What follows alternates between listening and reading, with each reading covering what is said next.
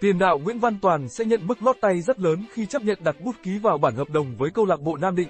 Mức phí lót tay mà Nguyễn Văn Toàn nhận được ở câu lạc bộ Nam Định rơi vào khoảng 6 tỷ đồng. Số tiền này tương đương những gì mà Quang Hải, Bùi Hoàng Việt Anh nhận được từ câu lạc bộ Công an Hà Nội.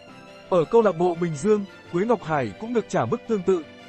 Tối 21 tháng 9, câu lạc bộ Nam Định xác nhận có được chữ ký của tiền đạo Nguyễn Văn Toàn từ câu lạc bộ Seoul Island. Đội bóng Hàn Quốc đồng ý để tiền đạo sinh năm 1996 trở lại Việt Nam dù mới chỉ gắn bó gần một năm.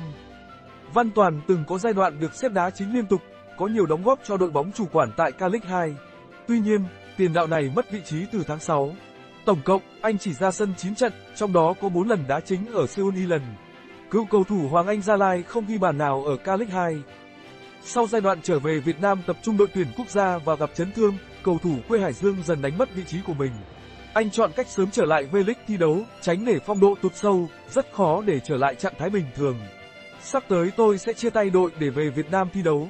Tôi rất buồn và cảm thấy có lỗi khi về nước trong giai đoạn đội vẫn đang thi đấu. Tôi không thể đi đến hết mùa giải cùng tất cả. Tôi hy vọng mọi người hiểu cho mình. Tôi biết ơn sự giúp đỡ của tất cả, cảm ơn huấn luyện viên trưởng, ban huấn luyện các đồng đội. Họ đã giúp tôi cảm thấy thoải mái trong thời gian ở đây, Văn Toàn nói lời chia tay câu lạc bộ Seoul Ilan. Ở cuộc đọ sức giữa đội tuyển Việt Nam và đội tuyển Palestine, ông Philippe Chusier tung Văn Toàn vào sân ở hiệp 2. Anh để lại dấu ấn với những bước chạy tốc độ và có một đường kiến tạo cho Phạm Tuấn Hải lập công. Thi đấu chưa thật hiệu quả ở đội tuyển quốc gia nhưng Văn Toàn vẫn là nỗi khiếp sợ của nhiều hàng thủ tại V-League. Đây là sự bổ sung hoàn hảo cho câu lạc bộ Nam Định.